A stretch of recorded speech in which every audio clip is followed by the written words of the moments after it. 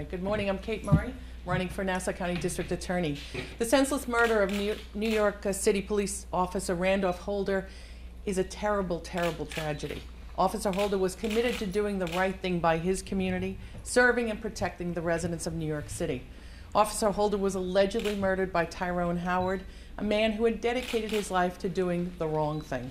It begs the question why was a man who had been arrested 28 times since the age of 13 on charges that included assault, robbery, criminal trespassing, narcotics possession, and dealing sentenced to a diversion program rather than put behind bars?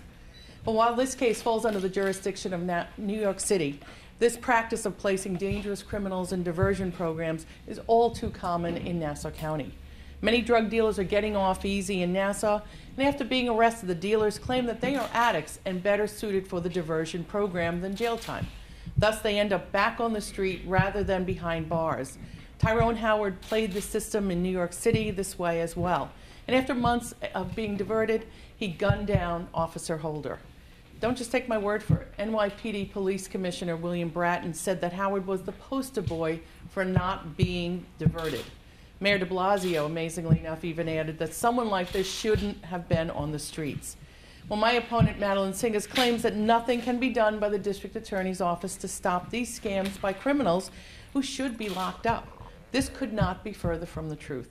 Under state law, a prosecutor can call for a hearing to determine whether or not a particular defendant truly belongs in the diversion program. During this hearing, the prosecution can consider oral and written arguments uh, hear testimony from witnesses and consider relevant e- evidence. And under the current administration, the district attorneys, re- prosecutors, on the other hand, have remained silent and abrogated their privilege to express an opinion as to whether a particular criminal defendant is eligible and appropriate for the diversion program. Well, local news outlets have reported that despite prosecutors pushing for Tyrone Howard to be sentenced to six years in jail, the judge who recommended diversion was apparently not presented with all of the evidence about Howard's violent past. We need to do a much better job of presenting the evidence in cases like these. We need to ensure that dangerous criminals who pose a threat to our community are being put in jail, not in diversion programs. The diversion program is strictly for nonviolent addicts who get to, so that they can get the help that they need. Uh, with that being said, I would like to uh, uh, invite James Carver, President of the Nassau County PBA, to share a few thoughts. Thank you. Good morning, everybody. James Carver, President of Nassau County PBA. Um, As Kate just mentioned, uh, you know, just last week, we had a New York City police officer that was uh, shot and killed by somebody that was uh, in a diversion program. We've talked about all the time here on Long Island, we have an increasing heroin problem. I talked to my detectives and police officers, and one of the things they mention is that you can have up to 90 bags of heroin on your possession which obviously to, uh, uh, to someone, just uh, any common folk would think that he would be dealing, he or she would be dealing that drug. But under, under the, the law, the way it's presently uh, um, laid out, that person can be eligible for a, di- a diversion. Now, if you're carrying 90 bags of heroin with you, it's obvious you're not be using that. It's the intent to sell that. And that, that person should never be allowed to, uh, to enter the program. So uh, one of the reasons why we endorsed uh, Ms. Murray for district attorney is because of her vision about what to do going forward. And I think going forward, if you, if it's not working down here, if the judges aren't complying or if the ADAs are not complying, I have full, full faith that Ms. Murray will make sure that they will comply and aggressively uh, uh, seek out those cases that shouldn't be eligible for diversion and, and then appeal that judge's decision. On top of that, i if it doesn't work, we have to go to Albany, and I know uh, from her past experience, she is not shy about going up to Albany or, or, or advocating for a change in the law. Just a few years ago, you had changes to the Rockefeller drug laws that were around for a long time that people thought were inappropriate. Well, I don't think there's a, a better situation right now where something's inappropriate than, than having people released on diversion uh, programs that go out and kill police officers. So now's the time to, uh, to step up and, and be aggressive about this. Uh, we've seen the, the deaths uh, double in the last year. I don't have the numbers in front of me right now, but they've been available and we can get them available to you. That's double, uh, you know, from heroin uh, overdoses over the past year.